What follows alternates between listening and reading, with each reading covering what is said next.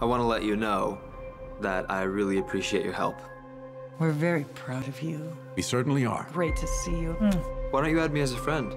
Sure, send me an invite. Already did. Seven years ago. Right, right. He was dressed so elegantly.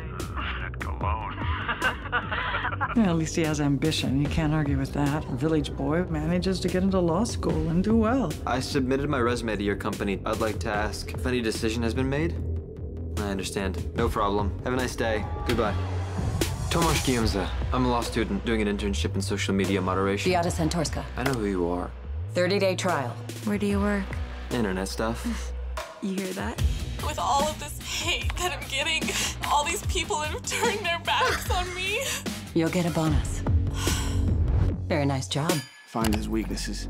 We call him Tomala. We used to go on vacation to his village. Come work with us. We need more young people.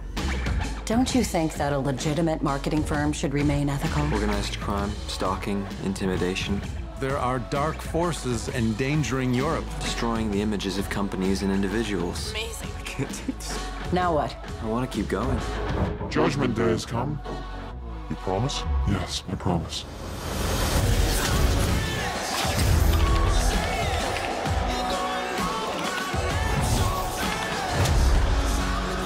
Think of a title for it. Authenticity matters. We're dealing with an invasion, a premeditated and organized invasion. We need great people and great deeds. We're not going to cower to lunatics and internet trolls. Gabby doesn't want to see you. They'll always look down on people like you and me. You mess up once and that's it. You're exiled forever. Do you understand? You'll always be a fucking nobody. But I'm not a nobody, you hear me? I am not a fucking nobody.